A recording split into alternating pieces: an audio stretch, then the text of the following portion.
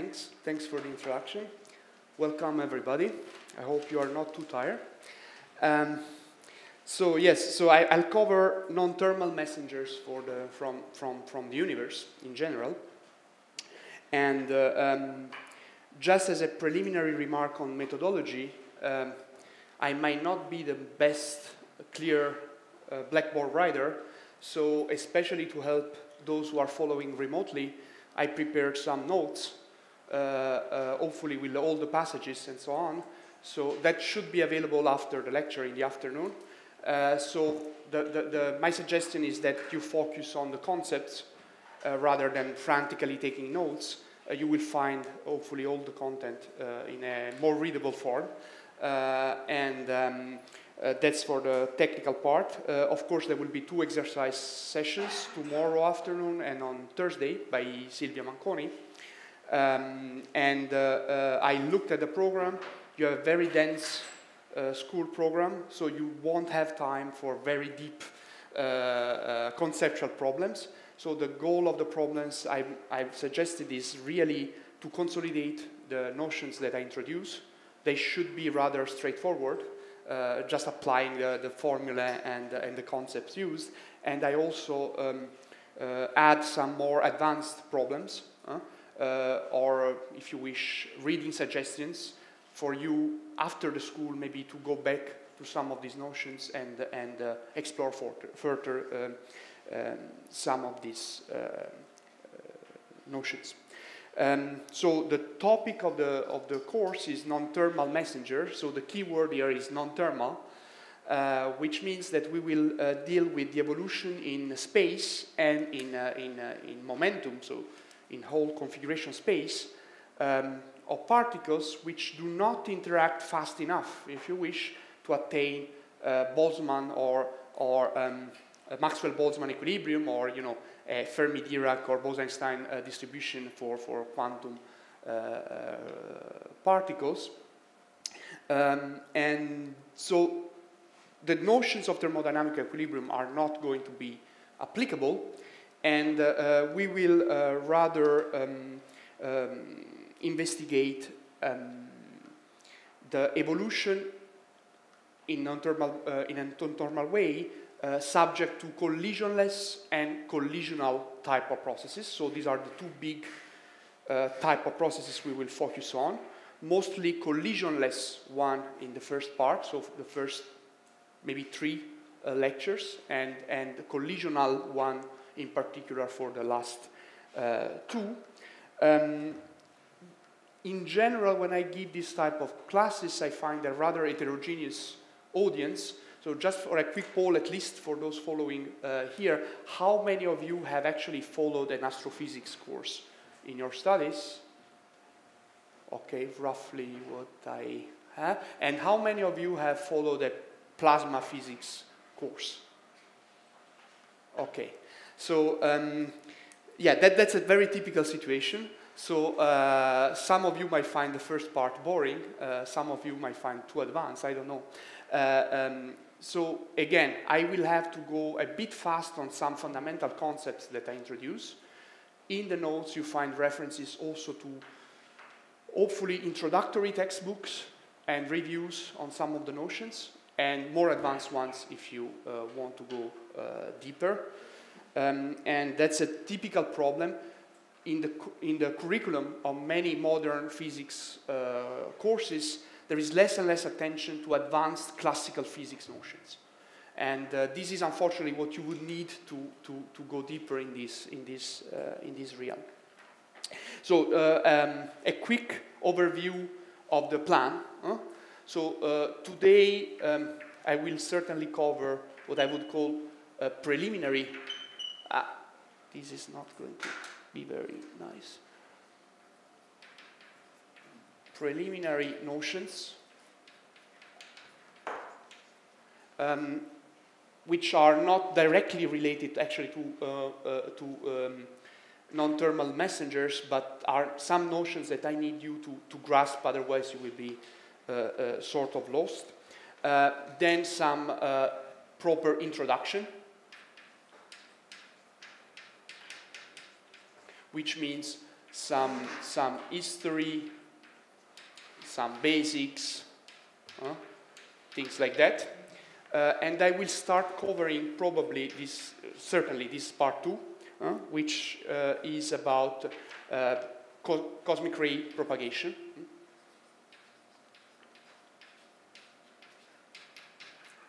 Perhaps again about nomenclature. Um, when I talk about non-thermal messengers, I will refer both to charged particles and neutral ones. Huh? But the charged particles are the one are the, the object of most of the uh, the early lectures, at least, for the simple reason that they are the ones uh, being accelerated and propagating non-trivially. Um, the neutral ones, photons and neutrinos, are typically byproducts of their interactions, and they are very, very useful for diagnostics, but we will cover um, some concepts later. Uh, so cosmic ray propagation, I was saying, um, there are some elementary considerations. And I would say something like heuristics. Uh, these are meant to convince you of some basic properties and then uh, we will um, deal with this problem in a more, let's say, first principle way.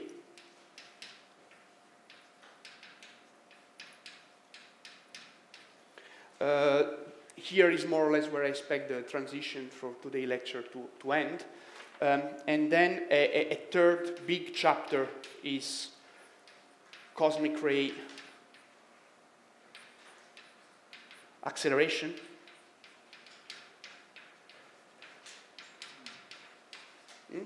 The basics, what you need to, to actually uh, be able at all to accelerate uh, in astrophysical environment, and then a little bit how do you describe it in terms of uh, equations.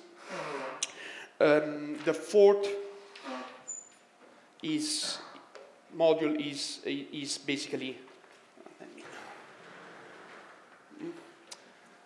collisions both leptonic and hadronic collisions, and these are important, as I said, for uh, because they are involved in the in the production of these diagnostics tools like uh, gamma rays and neutrinos, but also because they alter uh, the chemical composition and the spectra of charged particles. So we we need to cover them, um, and then eventually, um, well, let's say multi-messenger aspects, gamma, neutrinos, uh, diffuse fluxes, and things like that. Okay, that's the menu.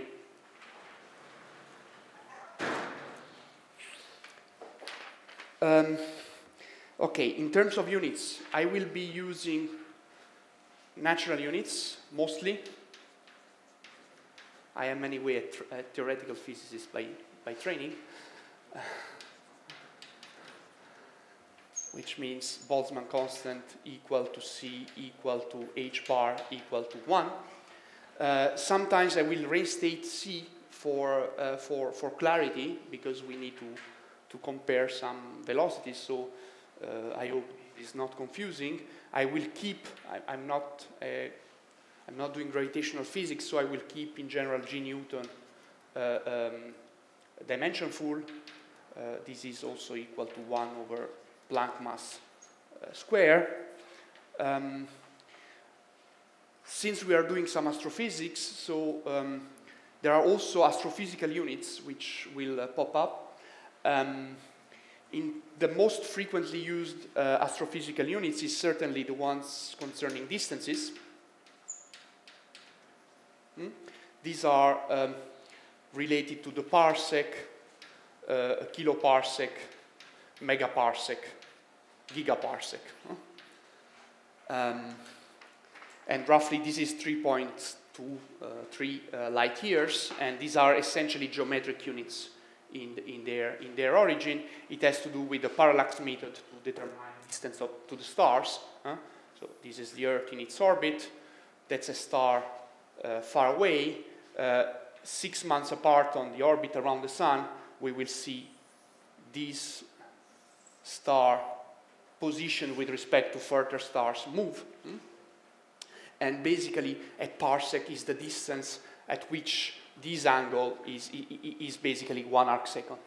Okay, so it's roughly slightly more than three light years, and these are multiples, uh, and I will give you shortly the link with the typical scales that we deal with in, uh, in astrophysics. Uh, another system of units that will uh, unavoidably appear um, are electromagnetic units, and in most of this literature, Gaussian convention is used, which means that the four pi's are not in Coulomb and Biot-Savart law, uh, they are rather in Maxwell equations. Uh, hopefully this doesn't, I, I, will stick to the convention that you will find in most of the textbooks and the review, that's why I use them, uh, which basically means that things like the, the magnetic energy density is, is b square over 8 pi, uh, it's not b square over 2 mu 0. Hmm? We will not use this one but hopefully you will be able to convert them back and forth if you need. And I also provide you some basic conversions for natural units, so magnetic fields, um, so magnetic fields intensity uh, as the units of an energy square, hmm? uh, because this is an energy density which has a unit of energy to the fourth. Um, and uh, the typical units in astrophysics for magnetic fields is the Gauss, and uh, actually micro Gauss for typical galactic values um, which is 10 to the minus 4 Tesla. Um, if you are not familiar with natural units, there are few exercises that won't be described tomorrow for you to get used to it, uh, uh, hopefully, but by now you have encountered them quite often, I hope. Um, in terms of scales, we will deal with uh, galactic and extragalactic environments. Okay? So for those of you who have astrophysical notions, that's trivial, but for those of you who have never uh, been exposed to them, um, be aware that both environments are extremely rarefied uh, as far as a comparison with, with terrestrial or even laboratory media uh, are concerned. When I say uh, extremely rarefied, I mean that, uh, uh, you know, typical density in, of matter in a galactic in environment, so in a galactic environment, a density, typical densities are typically below one particle per centimeter cube. Maybe higher in towards the galactic center or um, in molecular clouds, a couple of orders of magnitude higher, uh, but these are extremely rarefied, huh? much better than the best vacuum you can get in a lab. Uh, and in the extragalactic environment, you may have densities which are even below 10 to the minus 6 particles per centimeter cube today. Um, in terms of uh, distances, typical galactic distances are, let's say, in the kiloparsec to 100 kiloparsec range. Hmm? Roughly, this is the size of the structure in the local spiral arms, and this is the size of a dark matter halo around a, a, galaxy like, like ours, just to, to give you numbers. Um, radi the radius of the Milky, the visible disk of the Milky Way is roughly 15 kiloparsec, and the Sun is 8.3 kiloparsec away from the galactic center. Um, in terms of extragalactic scale, we are rather dealing with uh, larger than, say, 10 megaparsec. Uh, the closest galaxy, like Andromeda, is almost a, a megaparsec away. Close big galaxy, spiral galaxy outside uh, ours and, uh, and, and you can get up to tens of, kilo, uh, of gigaparsec for cosmologically distant, but still causally connected um, objects. So these are, these are the typical scales you deal with in the CMB. Huh? Um, in terms of time scales as well, uh, a revolution of the sun in the galaxy uh, takes about 240 million years. Hmm? This gives you an idea and uh, uh, a cosmological time scale is the age of the universe is almost for 14 gigayears. So you see that these are scales very extreme compared to what we have uh, in uh, uh laboratory uh, experiments. Um, I won't use think very much um, in the exercise, for instance, um, coordinate systems. I try to avoid uh, them, but for you to be aware, if you, for instance, uh, uh, browse some catalogs of objects, uh, you should be at least aware that there are a couple of, uh, of reference systems that you will face. One is the equatorial, uh, which is the general purpose type of uh, uh, reference system that you find in astronomy. And this is nothing but the projection on the celestial sky, frame of the terrestrial latitude and longitude system. Okay, so this is the Earth, this is the equator, you can look at the same structure in the sky. You have a celestial equator, which is the projection of the terrestrial one into the sky. The only difference is that latitude, uh, the latitude is replaced by the, the, the, declination, but that's the same criteria. Huh? You have a positive latitude, a positive declination above the equator, negative one below, and then the longitude in this frame is replaced by, by right ascension, uh, here is a little bit trickier for the zero, uh, because on Earth the convention has varied over time, but it was usually uh, due to geopolitical reasons, right? It was El Hierro, uh, the zero latitude since uh, Ptolemy. Uh, later was Greenwich because of the British power over the seas. In, in, in space, we use more natural type of criteria for the zero. Basically, the zero is chosen as the intersection of the uh, equator with the ecliptic. Uh, the ecliptic is the apparent orbit of the sun around the Earth, if you wish, is the, the orbit of the Earth around the sun. And it's the vernal uh, equinox, about the two points where these intersect, is the vernal one, the spring one, which is chosen as the zero latitude. Okay, this is, and usually you find these in degree, and you'd find these in terms of equivalent uh, um, hours, minutes, and seconds. Okay, uh, you divide uh, uh, the, the, the, 360 degree in, in, in, in time equivalent, which is very practical because a distance of one hour in right ascension really means that basically your star takes one hour to cover that type of uh, uh, during the night. Huh? That's, that's the, the, and by the way, this is the reason why we still have the, the division of the, the clock in multiples of 12 rather than, than, uh, than 10. Huh? Uh, it's related to the, to the angles. Um, besides this, this is a general purpose uh, uh frame. The ones that are usually used in, in um, galactic astrophysics uh, uh, tend to um, use the galactic plane as a reference because you might want to see by eye if an object correlates with the galactic plane, the galactic center, or it's very far uh, off. So uh, uh, one, one, one coordinate system that you use is the galactic coordinate system, and this is centered on the sun. So if we are here in the sun, and this is the galactic center, um, basically you, you measure angles, which is the galactic latitude, as the angle between, it, it's indicated with B, uh, and it's the angle uh, above the, the, the, the, direction connecting the sun to the galactic center for positive latitudes, and negative latitudes are below. And, um, and you have then a, a, a, a, um, a longitude, and the longitude, okay, there is a, little, um, let me see, from the, from the bottom, if this is the sun, this is the galactic center, this is the solar position, uh, basically you have 90 degrees is here. This is instead 270 degree. In longitude, yes. Ah, okay. Let me erase this. So this is the convention used, okay? 90, 270. Huh?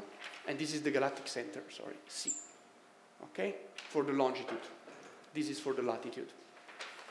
And then there is a galactocentric uh, system as well that is used sometimes. Um, this is a cylindrical coordinate system centered on the galactic center.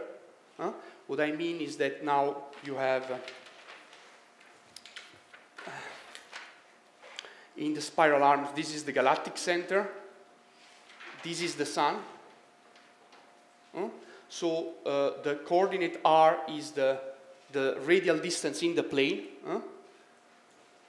Then you have a coordinate z, which is the height above or below the plane.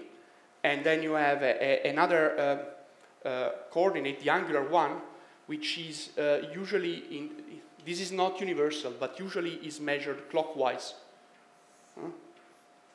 Theta is measured clockwise from the, with respect to the, the, the, direction connecting the galactic center to the sun. Okay, all these are, are in the notes just for, for, for you to, to get familiar with those if you, there are some exercises where I suggest you to go and look in some catalogs uh, and you might find some of these coordinates. I also give you a link with uh, with a set of routines in Python. Uh, AstroPy is very used, so don't need to learn this by heart, but at least to have an idea of what they are uh, uh, so that you are not lost. Um, in terms of um, content, uh, here I, I, mentioned briefly the density of matter, uh, uh, but these, of, the, the, these environments are also filled with, with magnetic fields and photon fields. Okay? So as far as we know, all environment where we have been able to measure sensitively enough, we have found magnetic fields in astrophysics, basically. Um, and the typical, um, how, how do we diagnose them? Uh, by techniques like Faraday rotation, or uh, you have synchrotron radiation, and you have uh, uh polarized light emission, uh, Zeeman splitting for, for more intense fields. So if you are not familiar with those, uh, I suggest you to, to go to general purpose type of reference, like uh, if, if, you are really curious. Huh? You won't, won't, need that to understand what I'm going to say, but if you're curious, uh, books like, uh, I find particularly useful, for instance, books like uh, Kip Thorne's and Roger Blandford, uh, Modern Classical Physics. There you find a quite accessible general introduction. Um, just to give you an idea in terms of magnetic fields, uh, in the galaxy, you get magnetic fields which are few microgauss in intensity. This can be uh, lower for the regular component of the field. The regular component of the field more or less follows the spiral arms in the disk. Huh? Um, it's much more uncertain what happens at high latitude. Uh, there might be a fountain toward the inner galaxy and so on. And uh, it's larger, uh, and, and, you have a comparable, if not larger, turbulent field. So it's a small scale, more incoherent type of field. And in terms of extragalactic fields, um,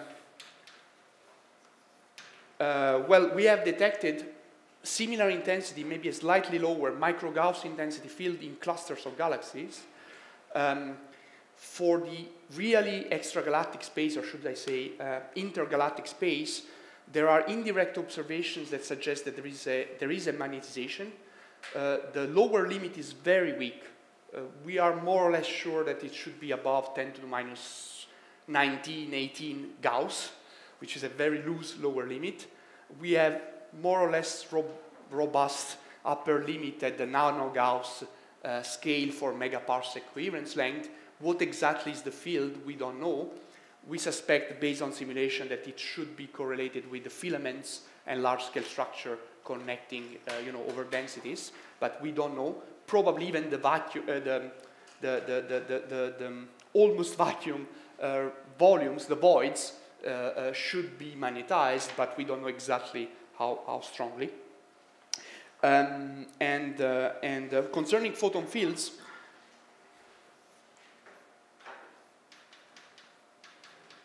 Sorry if I do some zoology, but uh,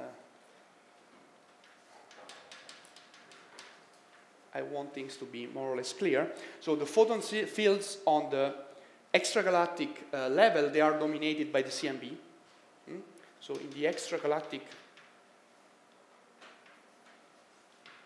the CMB, which is a black body spectrum with a temperature of 2.7 Kelvin, hmm? An energy density today of roughly 0.3 electron volt per centimeter cube, to give you an idea. Um, this is in the microwaves. Huh?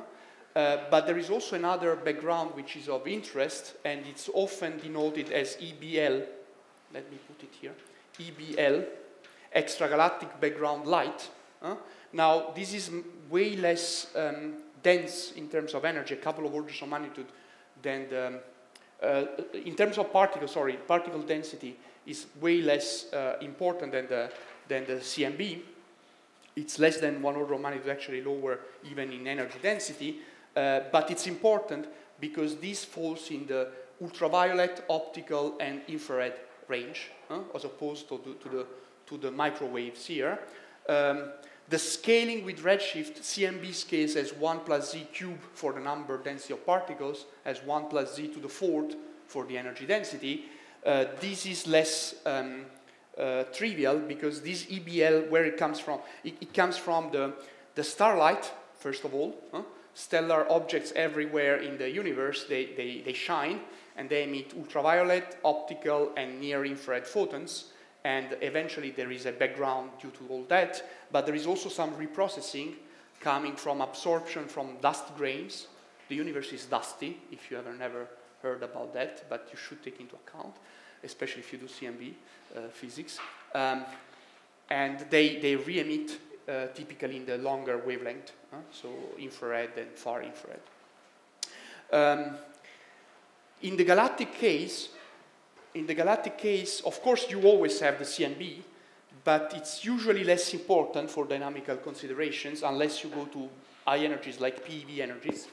Uh, in the galactic case, you have also a, a, a UV uh, uh, optical and, and, infrared background, uh, which is slightly less, uh, more dense in terms of energy density. It's, it's at the level of, you know, electron volt per centimeter cube. And this, this is contributed, of course, by all stellar objects and the dust in the galaxy. Huh?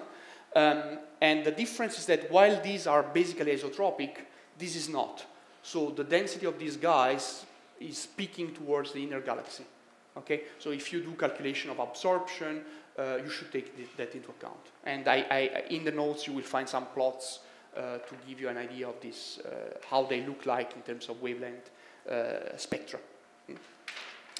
Um, a fact that, you know, might have a dynamical uh, explanation, but there is no consensual uh, explanation yet, at least in the details, is the fact that in the galactic environment, the energy density in starlight, in, um, in uh, magnetic fields, and in cosmic rays are roughly equal. Huh? They are, this is sometimes called a manifestation of the equipartition, it's of the order of fractions of electron volt per centimeter cube. Huh? That might be related to, to coupling between these things, but uh, there are also people that believe this is just a coincidence and uh, it has not, no, no deep reason. Okay, I, I, just mentioned you because you might find this expression in some, some textbooks.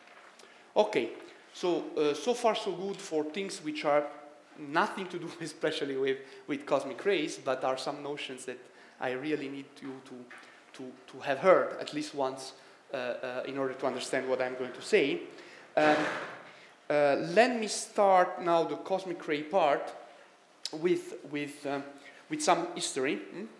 So um, I won't do a, an historical review, but you must be familiar about some uh, dates and even some concepts,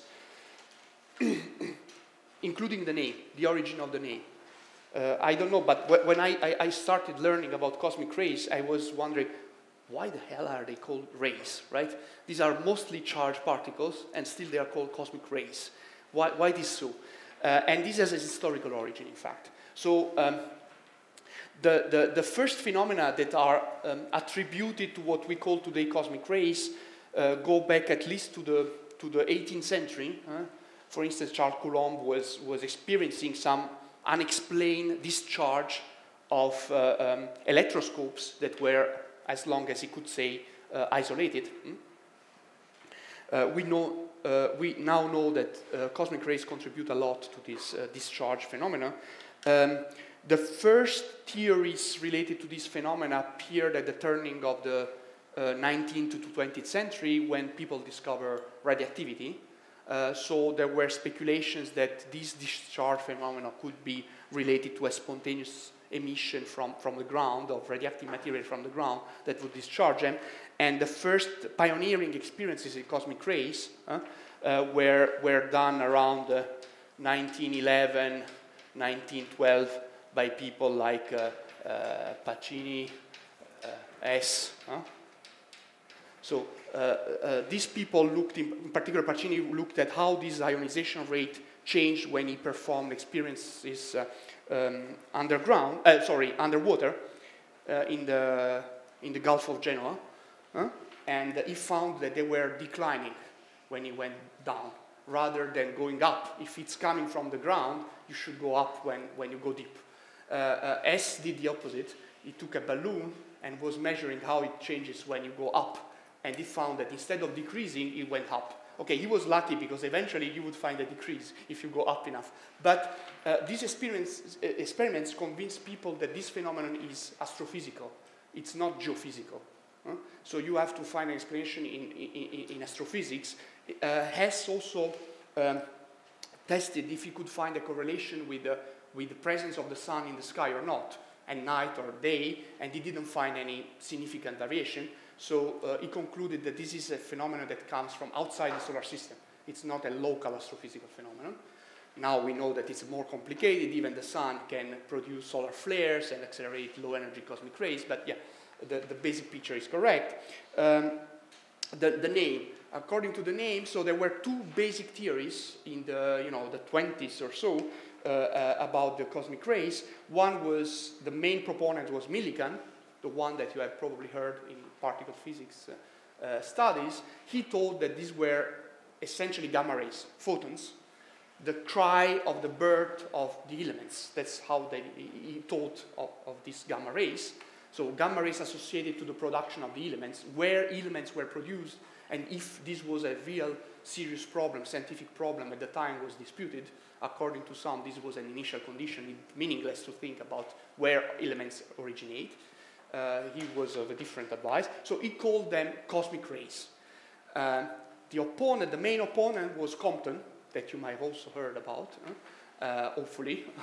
Uh, and he thought they were charged particles. Uh, this big debate was settled in favor of Compton, but the name cosmic rays remained. So Millikan got a, a saying about the name, um, and uh, the same has happened in cosmology. Uh, you might know that Big Bang actually was a, a, a name used by Hoyle to ridiculize you know, uh, the, the, the, this idea that universe is dynamical. It has been proven right, but the name has uh, stayed. Uh, and the same happened in cosmic rays. How do they prove that? Huh? How could they infer that they are charged particles? Essentially because of uh, the early, in the early times, in the late 20s and 30s in particular, it was the latitude effect. So people started uh, campaigns uh, all over the world, um, um, especially by European uh, uh, physicists, uh, taking profit of the fact that this was the end of the colonial period, so there were colonies scattered a little bit everywhere. Uh, so they, they ran campaigns of measurements of cosmic rays at different latitudes, and they found systematically that there is an increase of the cosmic ray intensity when you go to high geomagnetic latitude. So there is an exercise, very simple, you can do it more elaborately or in a very one-line type of calculation uh, that I propose that you will discuss tomorrow that, uh, that explains why it is so. Hmm? And uh, uh there were also other studies, so people involved in these experiments, for instance, you might have heard about, uh, especially for the Italian students, you might have heard about Rossi. Huh? Rossi was one uh, astrophysicist that pioneered these studies. In particular, there was some campaign in Eritrea other physicists went to, to the Svalbard uh, uh, and measured there. So and you and there was a compilation. There is still a nice review, by the way, uh, by um, by by Compton. Uh, you can find on Physics Review uh, if you are interested to, on these historical aspects. Um, yeah, yeah, it's from here. That's why I mentioned. Uh, you might heard um, about these campaigns. Um, and, and by the way, he also wrote a review uh, on uh, showers. We will talk shortly about that, uh, that you might find very pedagogical, actually. It's a very nice introduction to this topic, um, roughly in the same period. the fact that they were predominantly uh, ch uh, positively charged was discovered because there is an asymmetry between east and west. If you look at the uh, rate of arrival from the east and from the west, you find an asymmetry, and this is consistent with a mostly positively charged uh, um, nature. Mm? Um, and in this period, let's say from the 30s to the early 50s, this is really the golden period for cosmic ray research. Uh, also for fundamental physics. Okay, so you might heard about the discovery of the positron and the discovery of the muon and the discovery of the pion uh, and also strange particles, kaons uh, and uh, sigma and lambda and so on. All these were discovered with cosmic rays. There were basically no accelerators at the time, so particle physics was essentially using this natural beam and studying the byproducts of this in the atmosphere. Mm? Uh, this period, and there were many Nobel Prizes awarded, uh, you know, Anderson, Hess, etc., uh, etc. Um, Auger and Rossi pioneered the, the, the, use of, um, you know, coincident detectors to study extensive air showers. these are induced when cosmic rays interact in the upper atmosphere, and there are multiplicative processes. We will uh, discuss shortly a, a, a, toy model of that. Uh, and this allowed what is today known as indirect detection technique for cosmic rays. Um, this, this sort of uh, golden age uh, of um, twins the, uh, development of cosmic rays and particle physics ended sort of at the, um, if you want a date, is 1953. There was a cosmic ray conference uh, in the Bagnères de Bigorre in, in France, uh, where more or less the two communities got split. And uh, particle physicists started uh, you know, building accelerators and studying uh, uh, controlled condition productions. And cosmic ray physicists basically devoted more on to the astrophysics uh, of it. It doesn't mean that the, the, the, same person could not be interested in both topics. One great example is Fermi. Uh, just after World War II, Uh, uh, uh, and the development of nuclear power and the Manhattan Project and so on, he wrote the first paper proposing more or less a, a, a, a meaningful explanation for the acceleration of cosmic ray. It's the process that is today known as second order Fermi acceleration. Um, so some people worked on both, but it's fair to say that the methods sort of decoupled, and this situation has I mean, I don't want to be too sharp, but I sort of started to reverse in the 80s uh, when people started to think again of cosmic messengers as a way to probe um, uh, fundamental physics. Uh, this has to do with research like uh, indirect searches and uh, even direct searches of dark matter. Uh, and you might be familiar with the neutrino oscillations, atmospheric neutrinos. They require knowledge of uh, uh, cosmic ray physics. Um, and then there have been many discoveries in what is now known the multi-messenger uh, approach. For instance, over the last decade, you might have heard about the discovery of a diffuse astrophysical neutrino flux uh, by IceCube, and we will mention that uh, at the end of the lectures. Okay, so this is for a short historical overview. Let me go a little bit ahead uh, before stopping. Um, um, what about, what about some phenomenological aspects concerning cosmic rays? Namely, uh, how do they look like in, in energy space? Huh? If you look at the flux of cosmic rays as a function of energy, this flux looks like, uh, I mean, varies by roughly 10 orders of magnitude or more over the, range of energies where we have detected them from, uh, from let's say, GeV energies up to 10 to the 20 electron volt or so. And this is roughly above a few GeV, this is looking like a power law. I'm oversimplified it in the sense that it's not always having the same spectral index. There are tiny variations of the spectral index. Um, but the key thing I want to uh, uh, mention is the fact that basically the fluxes here are of the order of one particle per centimeter square per second which means these are very frequent events. Uh, and these are the type of events you might worry about if you do accelerator physics or uh, dark matter uh, direct detection or so. You want to be shielded by the bulk of these events. Um, if you go to tens or hundred uh, TeV, uh, uh, the typical flux is, is at the level of a particle per day per meter square. And this is sort of the limiting size of experiments that you can fly uh, above the atmosphere or at the top of the atmosphere, or you can uh, dock to the International Space Station or put on a satellite. Um, and beyond that, you have fluxes as low as one particle per kilometer square per century. And clearly, this realm is only possible to probe in an indirect way. Uh, this is really possible to probe in a direct way. Uh, and by direct, I mean that here you can really identify particle by particle uh, what this particle is.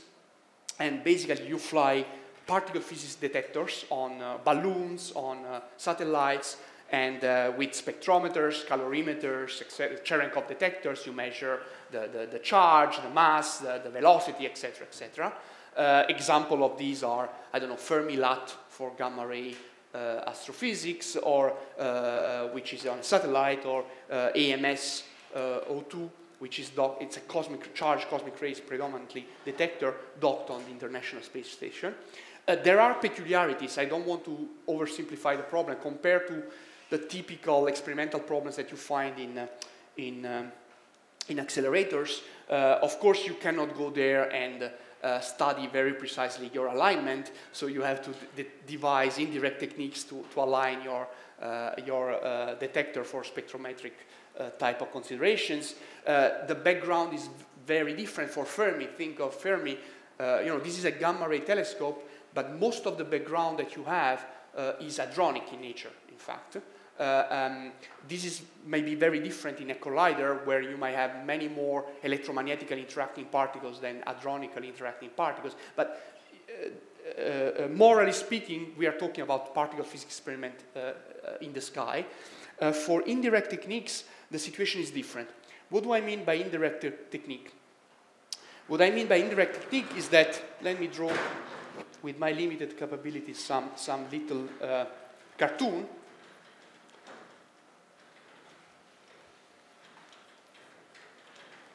By indirect technique, I mean that you do not study the, the particle that is coming from outer space directly. Huh? You study the byproducts of the particle interaction in the atmosphere. So there is a very simple model due to Heitler that roughly uh, works uh, uh, um, for electromagnetically induced shower in a reasonable way. So the idea, for instance, imagine you have a photon. Huh? Uh, impinging for, simplicity vertically here uh, on the atmosphere uh, after a characteristic length, let's call it lambda. This lambda depends on the, on the on particle physics and the environmental conditions of the atmosphere, the composition, the density, etc. Um, uh, uh, um, lambda, uh, actually, the typical variable used here is, is, is called grammage, and this is the, the integral over the path length of your, of your particle of the density encountered. Okay, so this is measured in, uh, uh, this is measured in grams over centimeter square, typically. Hmm? So after crossing some material, your photon can pair produce, so it will produce E plus E minus. The plus E minus, eventually after a, a distance which is comparable, huh, it can uh, uh, radiate a, a, a, photon, and so you have another multiplication of particles, and so on and so forth. Huh? This is um, um, the type of process, multiplicative process that you have. Huh? Eventually, the number of particles grows, and the average energy per particle declines. And this goes on until the average energy drops below a critical energy which is an energy depending only on, on particle uh, uh, and nuclear physics, basically. This energy is the energy uh, below which uh, energy losses proceed essentially through ionization, uh, not by multiplicative processes. Okay? Um, so this does not depend on, you can measure it if you, you can even compute it for QED. but but that's, that's, that's the idea of this Heitler model.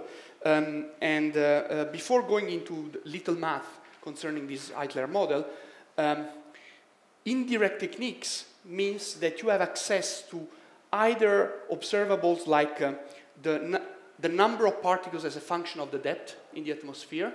Um, this is usually um, computed in terms of the grammage crossed. Let me, let me draw it like that. You can think of the number of particles. Um, this is the number of particles. Once you go through the atmosphere, the number of particles grows and eventually declines huh? because you, you run below this condition. And um, there are observables which are sensitive to this uh, shower development uh, quantity. Uh, examples are the scintillation light that these particles induce when they collide with uh, molecules in the atmosphere, or um, the Cherenkov radiation. Mm? So, uh, for instance, the, the, the um, fluorescence telescopes in the Auger Observatory or Telescope Array Observatory measure this type of um, uh, profile development, shower development observable. Imaging air Cherenkov telescopes uh, measure the Cherenkov light, but the idea is that they are sensitive to the development of this. Hmm? And then through, um, through stereoscopic view, if you look at the, profile development um, uh, from different direction, you can not only reconstruct the, the, the projected direction, but really the 3D uh, direction of arrival. So these are ways also to determine where your initial primary particles comes from. Um, and then there are other experiments, which are also indirect experiments, which are basically uh, measuring a slice uh, of this thing at a given uh, depth in the atmosphere, uh, because they are on ground. they are like muon uh, tanks or scintillators. And so even measuring a slice and measuring some timing of arrival, you can reconstruct the shock, uh, the, shock, you can reconstruct the front of these particles and so try to, to, to reconstruct the arrival direction. And also, since you know the, the, the direction and you know the, the age of the shower, uh, uh how is it called? Huh? Uh, so at which point, if you wish in this curve, the thing is located, you can try to reconstruct other properties of the, the shower. So this is the logic. Now I show you in a simple model, five minutes, uh, how this works to give you an idea. Uh, don't take them too uh, seriously in a quantitative uh, meaning because now these things are done with, via simulation tools. Hmm?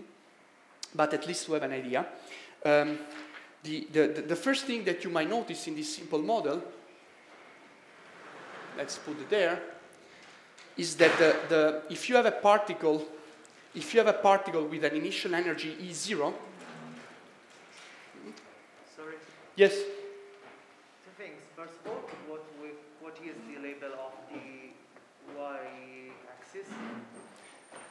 This is, for instance, the number of particles. Okay. Uh, uh, so, sorry, the y, yeah. The, no, no, the number of, the x-axis is the number of particles. The y-axis is x is the, is the depth is the depth in the atmosphere. You can think if for a vertical shower, it would be just the height above the ground.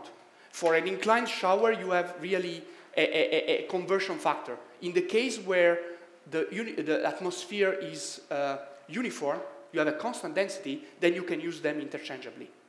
Okay? But otherwise, you have to use a model of atmosphere and convert height into a variable x. So you can think of it, this is x, or some proxy of it.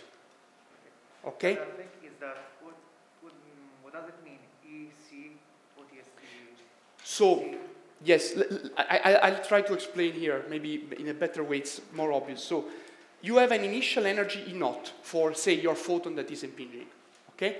After a single pair production, you have that the, the energy is E naught over 2 if, for each electron and positron. After n steps in this cascade, the average energy is E naught over 2 to the n for each particle. Okay? And this corresponds to a depth, huh? a grammage crossed, which is n times your lambda. So in that picture, you see that each step takes the same lambda but doesn't mean that the same lambda corresponds to the same uh, uh, geometric uh, uh, distance in the atmosphere, because the atmosphere is not a, a uniform uh, density, okay? It's uniform in that variable, in that grammage variable. Hmm? Um, so you have a maximum number of particles in this multiplicative process when, when uh, basically your photon or electron prefer to lose energy in non-multiplicative type of process. For instance, ionization. Okay? And this is something I have some value. It's roughly 80 MeV hmm, in the atmosphere, this, this, this EC. So uh, it's roughly 80 MeV. And just to give you an idea, the lambda for a photon is roughly 35 grams per centimeter over centimeter square. I don't know if this talks to you, but these are things that you can measure, you find in the particle data book, etc. not very conceptually deep. And uh, uh, uh, one thing that is important is that eventually, once this average energy drops below that, the number of particles that you have reaches its maximum. So this is nothing but E0 over E critical. So if you measure the maximum number of particles in your shower development, since you know that from the lab, you can infer what's the energy of the impinging particle in this simple model. When does it happen? It happens at the depth x max, which is uh, lambda times the log base 2 of E over uh, E naught over EC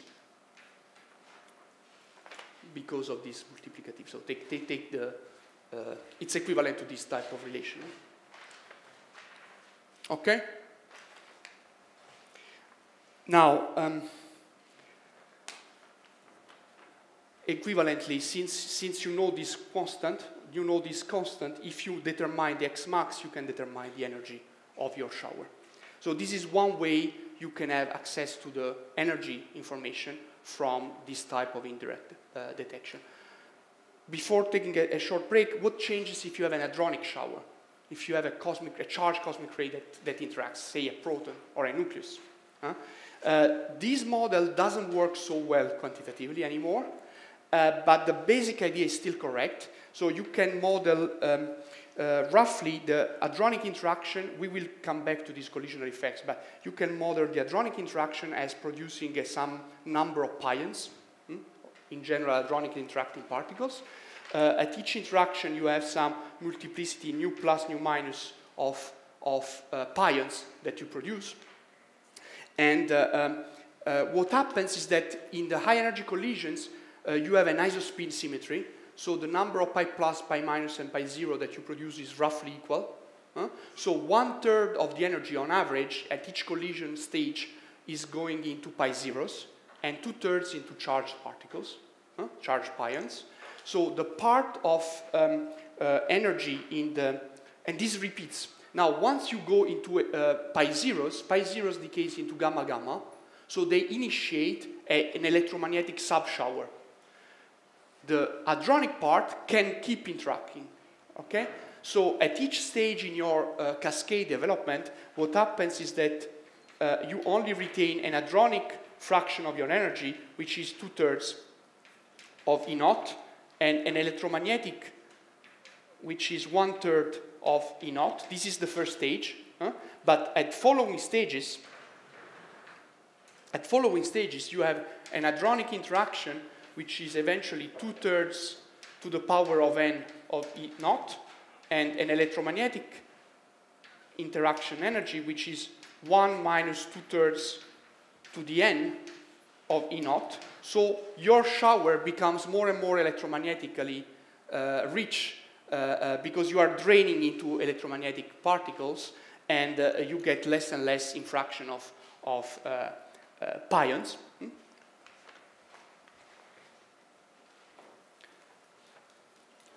Okay, so the number, sorry, the average energy of your charged particles, your charged pions, let's denote it by E plus, E minus, hmm, uh, is going to be E naught divided by basically 3 halves of nu plus minus to the power of n. This is the multiplicity of charged particles. 3 halves of it is the total multiplicity to the power of n is the total number of particles after n stages. So this is the, the, the, the typical average uh, uh, energies. And uh, um, uh, eventually what happens, again, the pions, there is a critical energy uh, below which a pion rather decays into a muon rather than uh, um, undergoing multiplicative hadronic interaction. Okay? So the maximum is reached when this average energy uh, uh, again be be becomes of the order of this uh, decaying critical energy. And uh, uh, you deduce that n max plus minus is equal to basically log E0 over ED. This is exactly the same relation apart for this scaling factor that we had before. Okay? Why this is important? Because for each charged particle, for each charged pion, you have eventually a muon coming from the decay of the uh, pion, and you can observe the muon. The muon is a very penetrating particle, typically doesn't, doesn't interact much. Huh? And this is something you can measure on the ground. And uh, the number of muons is nothing but basically the number of pi plus pi minuses, which is in turn the multiplicity of pi minus pi plus per uh, interaction raised to the power of this n plus and minus max, huh? this one, which means that the log of n muons is given by uh, n plus minus max times log of nu plus minus, which is in turn something like beta log E naught over ED. Okay, and this beta coefficient is nothing but the log of nu plus nu minus over the log of 3 halves nu plus nu minus. This multiplicity, I don't remember exactly the value, but it's of the order of 6 or 7, something like that. So this beta is roughly 0.85. So this is just to say you that you can also measure the energy, in principle, by measuring how many muons you get on the ground. Hmm? This is something new. You don't have this in the electromagnetic shower. Um, also, imagine that instead, and then we take a break. uh, uh, uh, imagine that you, or uh, up to you, I don't know, we can even end a little bit earlier, uh, up to you. Uh, depending on how tired you are. Um, basically, the, if you take a superposition model and you say that the nucleus is just A nucleons, hmm, the, the energy available is the same. Let's make this hypothesis. So the total number of particles available is going to be the same hmm, at the max. This is nothing but E naught over E uh, C or ED, whatever, huh? this critical energy. However, um, since you have now n particles, they will interact earlier. Hmm? So in our, in our picture, the cross section of a nucleus with, the, with, the, with atmospheric material is larger, huh? which means that if you have a proton doing that, a nucleus typically will do that. Huh? So although the energy available is the same, the depth will be uh, shorter at which you reach your maximum. Huh? And, and uh, in fact, it's, it, it's trivial to show that the maximum for a nucleus, uh, A, is going to be x proton uh, max, sorry, x max proton minus lambda of a proton times the log of A. So this is just to say that if you measure now the, both the total energy through, through the number of particles produced in the shower and the depth at which this maximum happens, you can try to infer the chemical composition of your, of your shower. Okay? So you have the same number of particles for a nucleus, but the, the distribution of development is, is, is narrowed. Huh? And you can also prove that the variance of this part, this is a stochastic uh, variable, the variance also is smaller for a nucleus than for a proton. Okay? And, um, and that's it. So uh, let's stop here. There is an exercise just to consolidate these notions, so tomorrow you will see more uh, some quantitative details of that. Uh, let me just conclude about the fact that this model, this generalized um, uh, Heitler model, is not actually very good at quantitative prediction, this one for hadronic uh, interactions. And in fact, um, now we rely on, uh, on extensive air shower simulators. Unfortunately, there are uh, uh, hadronic uncertainties associated with that uh, because these type of processes are non-perturbative QCD processes. These are what are called forward physics uh, uh, processes in collider jargon. We will come back to that. Um, and, uh, and basically, uh, there are two difficulties. One is that we don't have a, a, first principle theory for those. And second difficulty is that for the highest energy showers, uh, we are even above the energies probed by LHC. So we don't even have data uh, to calibrate to. Uh, so um, that's why measurements of, say, chemical composition in uh, ultra energy cosmic ray experiments are very hard. Okay, we have a very loose idea if there is a trend of dominating protons rather than dominating ions, uh, and so on and so forth. So let's stop maybe 10 minutes and then we have half, half an hour to conclude. Okay?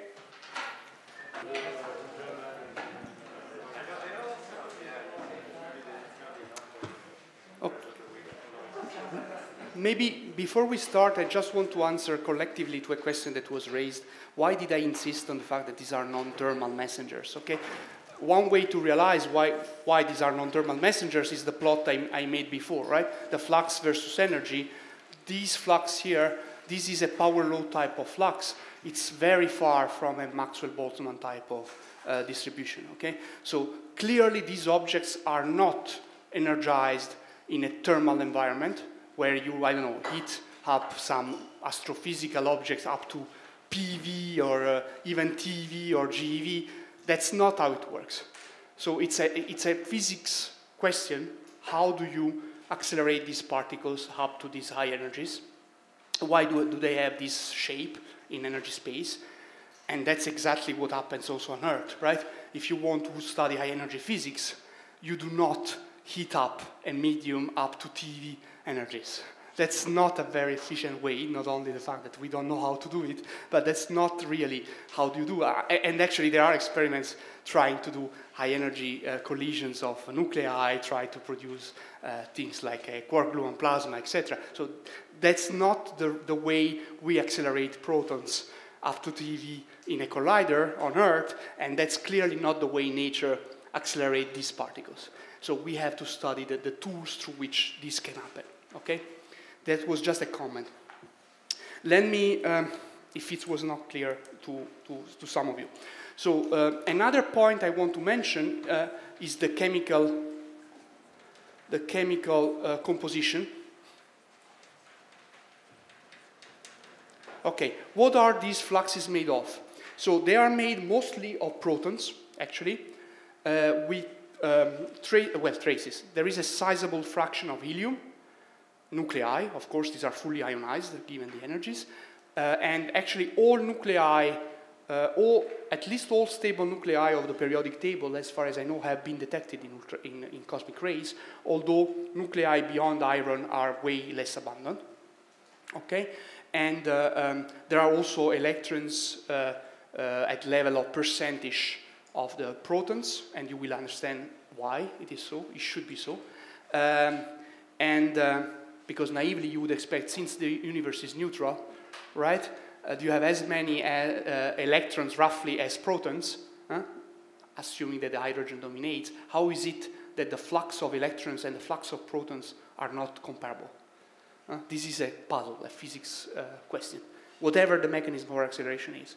Um, and then there are nuclei up to at least iron.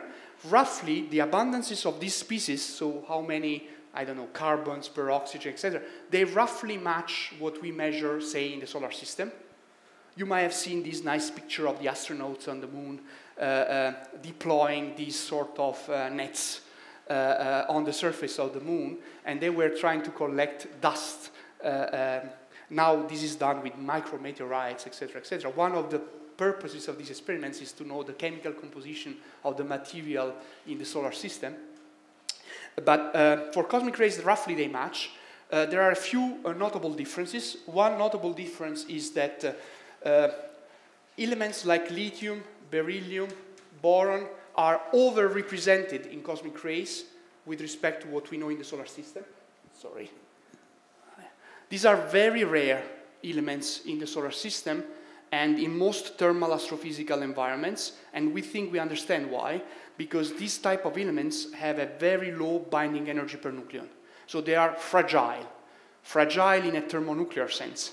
It means that once they are uh, present in hot environments like stars, they tend to be burned out very efficiently. Okay, so are, their abundance is almost zero for, for what matters, for, for instance, for us, for the injection of cosmic rays. Um, but they are present in cosmic rays, and they are, you know, maybe at the level of 10 percentage to 30 percentage of the uh, more abundant nuclei like uh, uh, carbon, oxygen, etc. Hmm? And the reason this is interpreted as the result of you know, spallation. So these nuclei in cosmic rays, differently from solar system material, these have energies of GeV, TeV, and, and above. Uh, so once they hit uh, interstellar material, they can uh, uh, spallate, they can lose some nucleons in the collision and produce these lighter elements. That's the, the way this overabundance is interpreted. Is interpreted as the result of the grammage that these primary cosmic rays experience in the interstellar medium. Huh? So there is another exercise uh, for tomorrow where just using this fact, uh, you can infer that cosmic rays cannot propagate in straight line in the galaxy. Otherwise, the, the, these observable would be badly uh, uh, predicted. Okay, and then we will come back to this problem once we have the full uh, propagation machinery to compute more from first principle what you should expect for that in a simple geometry. But already that, without knowing much, tells you that they cannot propagate in straight lines. Okay, uh, and the same is true for what is called subiron uh, with respect to iron, and also for some isotopic uh, species like deuterium and helium-3. They are overabundant with respect to what we find in the solar system by, by like some four orders of magnitude or so. So um, I won't talk about isotopic studies in cosmic rays, but if you find them, don't be surprised about that. Um, okay. Um, final uh, notational aspect before mentioning something about heuristics on cosmic ray propagation is about units. Uh, fluxes of cosmic rays are typically um, either plotted or measured versus energy. Usually this is done when you want to focus on particle physics processes that can be induced by these cosmic rays. Energy is a meaningful variable. Alternatively, you can use momentum. Uh, plot fluxes with momentum. This is usually done in theoretical, for theoretical studies because this is the natural variable in phase space you want to use. Uh, they can be done also in terms of energy per nucleon, if they are nuclear species. The reason why this is used, uh, and sometimes also kinetic energy per nucleon or so, this is done because in spallation processes, the one producing these guys, we will come back to that, but the ones producing these guys, roughly the energy per nucleon is conserved. So it makes sense if you want to compare, you know, uh, spallated objects. And also rigidity. This is another variable which is extremely used. So rigidity is nothing but momentum over, over the, the, the charge. Okay? Z is the uh, atomic uh, number, E is the elementary positron charge. So it's momentum over charge, and we will see uh, in a second that this is the key variable if you want to focus on propagation aspects of cosmic rays in magnetic fields, because cosmic rays having the same rigidity uh, um, have the same trajectory uh, in a given magnetic field. Okay? So these are the typical quantities used if you want, you can train yourself to convert these simple uh, kinematical variables one into another. So you can compute Jacobian of transformation of these if you want to convert the flux in one in the flux of the other. Of course, there are codes that can do that for you, but you know, if you do, there are papers, even famous papers, where there are mistakes on these things. So uh, the trivial things are the ones where people get confused uh, uh the most, I think.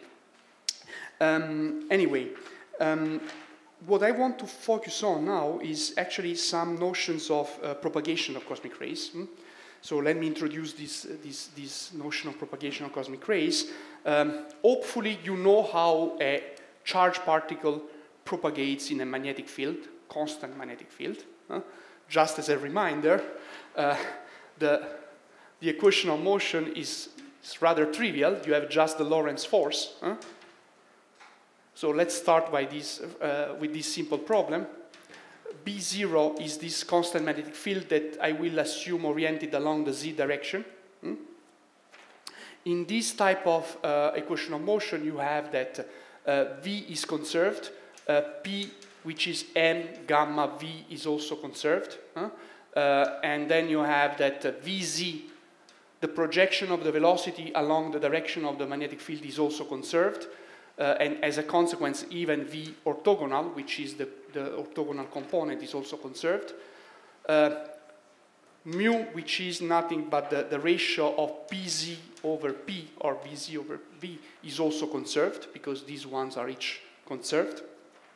And as a consequence, also P orthogonal, which is square root 1 minus mu square of P, is also conserved. Okay? Uh, in terms of motion, you know that this type of uh, equation of motion will describe an helicoidal motion around your constant magnetic field, which means that in the direction orthogonal to the magnetic field, you have a circular movement, huh? circular uniform motion, uh, dv orthogonal over dt uh, is q v orthogonal b0 over uh, m gamma. Huh? These must be equal dv gamma over dt must be uh, equal also to v square orthogonal over r. Huh? This is a centripetal uh, acceleration. So you have a radius of your circular motion in the xy direction, which is uh, m gamma v orthogonal over q b0. Okay? So in the non-relativistic case, that's the only non-trivial part that maybe you have uh, not in mind. In the non-relativistic case, you can define a, a, a, a phase frequency uh, of gyration, which is qb0 over uh, m, and associate to that a radius of gyration, or gyro radius, which is v orthogonal over uh, omega g. Hmm? In the relativistic case, uh, you have what is called the Larmor radius, which is nothing but gamma Rg. And you have associated uh, uh, angular frequency, capital omega, which is omega gyration over gamma. Uh, and these frequencies are very, uh, these time scales, or 1 over omega is a very fast time scale for astrophysical purposes. For GeV energies and charge 1 is of the level of maybe 100 seconds or so, or 100 inverse seconds for omega. So these are very short time scale compared to the millions of years of, that I mentioned before. Um, the, the, okay, the equation of motion, of course, here you can integrate them, okay? x of t will be given by some initial condition xg plus r with some choice of phase, you can always write them like that. Omega t, y of t is equal to yg plus, or let's say, minus rl cosinus omega t, and z of t is some zg uh, plus vz times uh, t, uh, which you can also write zg uh, plus v mu t. Hmm? So these are just describing this type of motion. Hmm? Okay, and a, a, a movement with there is one fictitious particle of coordinates xg, yg, z of t. Hmm? This is called guiding center, and this is the particle that moves uniformly along the magnetic field. Okay? So you can describe the movement of cosmic ray like a, a, a circular movement around this um, guiding center. Um, now, if I modify this picture and I add a perturbation to my magnetic field, for simplicity, sorry, for simplicity, let me uh, choose my perturbation delta B uh, uh, orthogonal to B naught and also delta B much smaller than B naught in magnitude. Okay, so you can think of it with respect to that picture, which now I put in the vertical axis because I chose Z to be the magnetic field, I am now so, sort of perturbing my field like that. Okay? So I have a small component orthogonal to, uh, to Z. I can choose, for instance, delta B equal to, in components, uh, cosinus minus kz plus some phase phi, or psi, sorry, sinus minus kz plus psi. And let me put it to zero along the direction z. Uh, I want to choose this type of fluctuations in the sense that the motion along x and y is anyway controlled by the leading term b0, but I want to know what is the first correction to the motion around z, which is um, uh, um, happening when I add now a fluctuation to this constant magnetic field. Okay, so we will focus on the change of trajectory in the z direction, and we will consider that what x and y is unchanged. Okay, this is a manifestation of something that can be formalized and made more, more um, again, more formal, but for now take it in an intuitive uh, way. So we can compute the, the, the, the, the evolution of the, the pitch angle, or rather the cosine of the pitch angle. This is the ratio of pz with respect to, to p. Hmm? So it's the cosine of the uh, angle given by the momentum hmm? with respect to the um, constant field. I just write down the, the equation of motion with each choice. 1 minus mu square over E modulus delta B. And then you have uh, something which is cosinus omega t you will find all this formula uh, in the notes, no, no, no need to really write down everything in detail, minus sinus omega t uh, sinus minus kz plus psi. Hmm? So I can also rewrite this as, by definition, as a constant times something like cosinus, sorry, not omega, let's say Wt plus psi, where I introduce this constant C, which is nothing but uh, q square root of 1 minus mu square. Re remember, this is a constant because this is a constant, uh, because mu is a constant, delta P over energy. And W is, by definition, omega minus mu uh, k, which is the wave number of my perturbation, times v. Okay? So far, so good. Now I can compute. Okay, so I have a random wave huh, with an arbitrary phase psi, which I have added, well, not a wave, sorry, a, a fluctuation. This is not propagated. This is all magnetostatic, huh, which I have added. So what happens to the evolution along the z direction, which I express in terms of the evolution of this component pz, or rather pz over p, hmm? mu. Of course, this will be just a statistical description because I have no idea how the field departs from the, uh, the from the constant, um, from the constant um, uh, approximation. Hmm? So, on average, if I average over, for instance, the phase of these fluctuations, I will get that the average of d mu over dt is equal to zero, average with respect to the psi. This is trivial. Huh? It's the average of a cosinus. It's, it's, it's basically zero. However, I can, um, I can compute delta mu square in a time t, the variance of this guy, huh? and this is not going to vanish. So this is given by c square integral up to t from whatever, say, 0. I have dt prime dt second of basically cosinus wt prime plus psi cosinus wt second plus psi. Hmm? Now, this product of cosinuses, huh, basic trigonometry, I can rewrite in terms of cosinus of the sum and cosinus of the difference.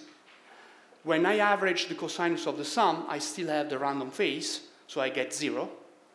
The difference, however, this phase disappears. Hmm? So in that case, when I average over the phase, I won't get zero. There is a finite contribution to the variance of this uh, quantity. Hmm? If you further remember the, the fact that uh, um, basically, um, okay, when you integrate, okay, I can take, let me state first the, the, the result and then I will show you where it comes from. So the derivative with respect to time of this average value of delta mu square, hmm, which means I get rid of one integral, will tend to this result, pi c square delta of w. Hmm? And the reason why, you can prove more formally, but this has to do when, when you integrate over one variable, you get that you get a result like sinus uh, sinus w. Hmm? You get a sinus w uh, t over uh, w. Hmm? Remember that when sinus x over epsilon over x tends to uh, pi delta x when epsilon goes to zero. Okay?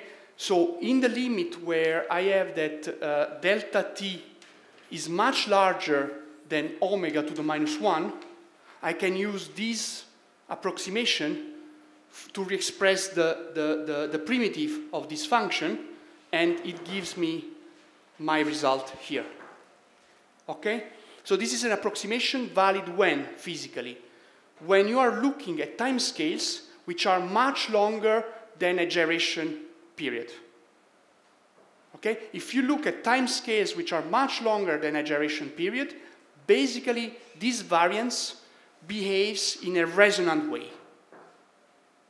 Otherwise, this is a finite value which is not a delta. It has a width. Okay? So now there are two qualitative considerations that you have to take into account. Uh, first of all, let me rewrite this in more physical units.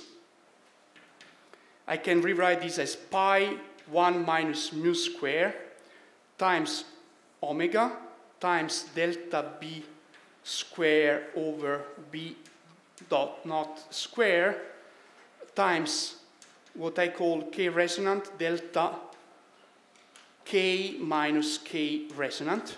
I'm just using my explicit definition of W and I'm bringing out in terms of a delta of the wave number. And I have defined this k resonant, which is important, is omega over mu v.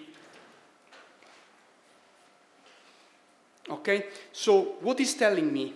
What is telling me that this evolution along the z direction, this is the only one we are focusing on, once you have fluctuations, deviates from this simple, you know, constant uh, uh, guiding center uh, movement, uniform motion, and it becomes a sort of diffusive evolution. Why diffusive? Well, the first moment vanishes, the, the, the, the, average, it vanishes, but it has a finite variance.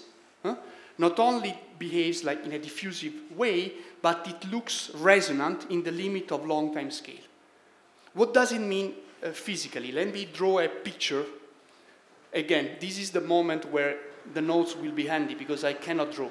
So I apologize for my limited skills as a drawer, especially in Florence. Everybody seems to be so, so skilled. Uh, Anyway, so the, the, the, picture is the following. Imagine that you have, let me use some color. Um, imagine that you have some um, uh, perturbation, some, some fluctuation of the field. Ah, no, this is really bad. Uh, which one? This one? Yeah, then, then you won't have color effects, so it's black and white. So imagine that you have this type of fluctuations, okay? Imagine that you have the Larmor radius, which is very small. Hmm? So that the cosmic ray, what does it mean? It means that it won't diffuse along the z direction. So your cosmic ray will basically surf the wave. You have an opposite uh, regime where the fluctuation is much shorter wavelength than your cosmic ray uh, uh, uh um, Larmor radius. So imagine a situation like, uh, I don't know, like that, and your cosmic ray is at a larger gyro radius, then along z it won't diffuse. It will basically, it doesn't really care about the fluctuations. It averages them. Okay? And there is a third limit, which is the one that we care about, when basically the, the wavelength of these fluctuations matches the wavelength associated to the, to the, to the gyro radius, huh? to the Larmor radius, which is given by this expression here, basically. This is the link. Huh? You can imagine that, and this is the challenging one. So you, you have a fluctuations like that, and you have a Larmor radius which has the same type of uh, uh, uh, scale.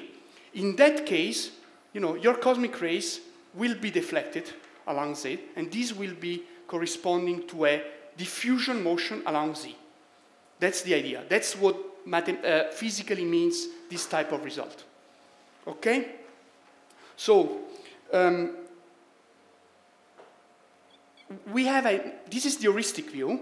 We will come back to this problem more formally. Uh, but the idea is that um, the cosmic ray will, in general, diffuse onto uh, fluctuations in the magnetic field which are um, matching its own specific uh, uh, wave number, if you wish. Huh? And uh, in general, it's not like you have a given fluctuation with respect to magnetic field you have an ensemble of fluctuation. You can decompose actually in Fourier uh, uh, um, modes or in general through Fourier transform whatever configuration of magnetic field that you have. And so depending on how much energy is basically stored in the modes of that wave number matching the Larmor radius of your cosmic ray, the cosmic ray will diffuse more or less. Okay? Notice that this is a diffusion which is qualitatively different from the diffusion you might have studied of a perfume in a room. In that case, sure, the molecules are diffusing, but the diffusion happens through collisions of your molecule with other perfume molecules, with the molecules of your, the, the, the atmosphere, the room, the air in the room. Here, there is no collision. Hmm? It's just an interaction in a, in a classical sense, there is no collision. It's just a, an interaction between the fluctuations of the field and the charged particles. Okay, in a quantum thinking, you can think of these as quasi-particles onto which you are uh, colliding. Huh? But this mode is called, of diffusion is called collisionless diffusion. Hmm? By the way, in plasma physics in the lab, people try to reproduce conditions in which you see this type of phenomena. And these are hard to achieve because you need to, to decrease the density of whatever gas left to such a level that these are the dominant thing.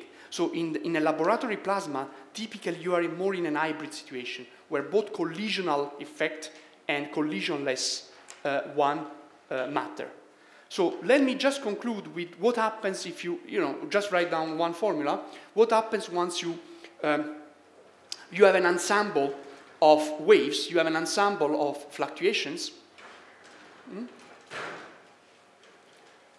If you have an ensemble of fluctuations, basically uh, your, your diffusion in uh, uh, pitch angle or mu variable hmm? Uh, will be, which is also can be expressed in terms of diffusion with respect to the angle itself. Huh? Remember, this angle is the one specified by my momentum with respect to the B field. Huh? Hmm? The regular B field, which is our, our reference. Uh, this is given, essentially, that's the result that we have found here. Forget about prefactors, orders of magnitude. This is just given by 1 minus mu square times omega. If you have an ensemble, it will be given essentially by delta b square over b naught square evaluated in this resonant uh, uh, condition wave number. Okay? The simplest, the simplest way to look at this result is that the frequency with which your angle is changing, huh? This diffusive time scale, is basically linked to the frequency, the basic frequency huh, that we are introducing. This is the one with which you rotate along your, your magnetic field through a factor which is the ratio of power or energy of your fluctuations with respect to the magnetic field evaluated in this resonant condition. And in general, you will have an ensemble of that. You will have a power spectrum of magnetic fluctuations. Huh? And depending on how this power spectrum is populated as a function of wave number, you will get more or less deflection. Okay? Um, two names that you must be aware of uh, are Kolmogorov and Kraichnan. Um, so that there is no first principle theory for how this turbulence in the magnetic field should look like. Okay? This is still an unsolved problem. Even in the hydro case, this is not really a solved problem. According to Feynman, turbulence is the most challenging unsolved problem in classical physics.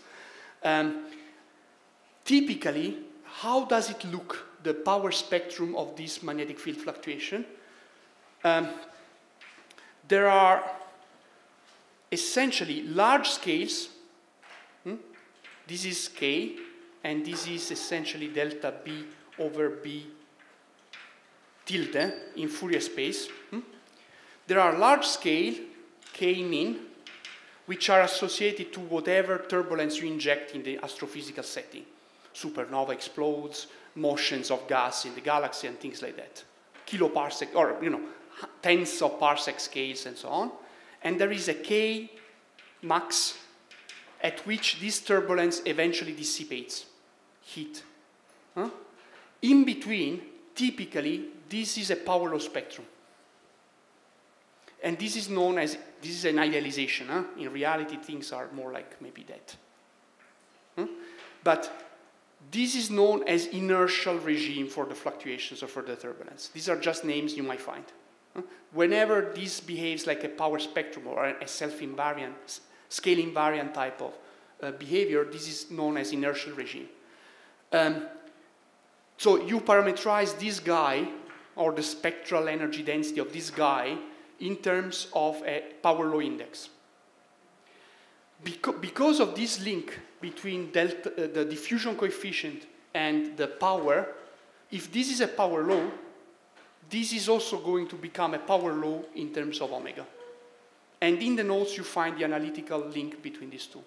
Okay? In particular, there is a power law index for the spectral energy density, where this, or uh, better, the spectral energy density associated to the field scales as k to the minus 5 thirds, which is known as Kolmogorov, and leads to a diffusion which scales as rigidity to the minus one third. We will come back to that, but just to introduce the names.